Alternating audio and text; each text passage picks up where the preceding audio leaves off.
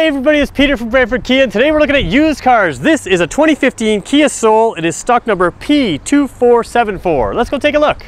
All right, the Kia Soul. Everybody says it's love it or hate it looks, but the reality is a lot of people, when we get them into these cars, they think they don't like it, but then they get in, they just absolutely love it.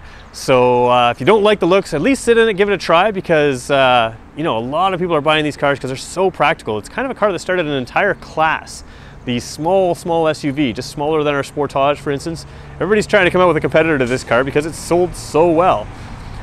So there you go, there's the outside of it. We're gonna take a look at the backside. Now, I've touched this car, or I've got to this car before the detail bay has even touched it. So uh, we haven't uh, got in our shop. I'm trying to get these done before it rains today. And uh, so you're seeing this car for the first time, just like I'm seeing it for the first time. You got roof rails up top, so if you're an outdoorsy person like me, you can take your bikes, your kayaks, all kinds of things. Inside, as we hop in, it's a car-like size on the outside, but of course it feels like an SUV on the inside. Higher seats, and everything inside has roundness to it. The outside's very square, but you'll notice everywhere you look, a lot of round uh, features there. Of course, the steering wheel's round. On top of the vents there is round. You've got some details up there that is round. So a lot of roundness on the inside. Award-winning interior when it first came out. I'm going to awkwardly start the car with my left hand because I've got the camera in my right hand. Take a look at the gauges here. You've got a tachometer over there, speedometer and information display in the center, and you've got your fuel gauge and temperature gauge over there.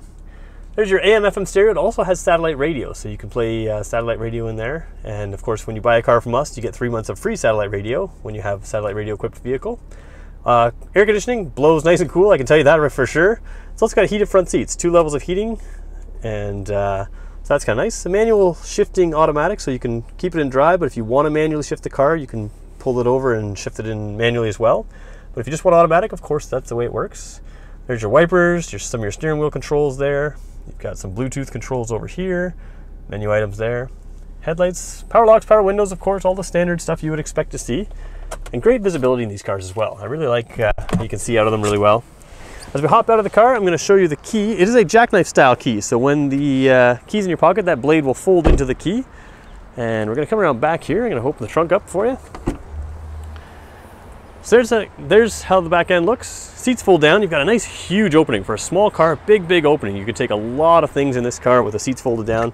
You've also got a lot of underfloor storage in the car, so you can hide stuff down there.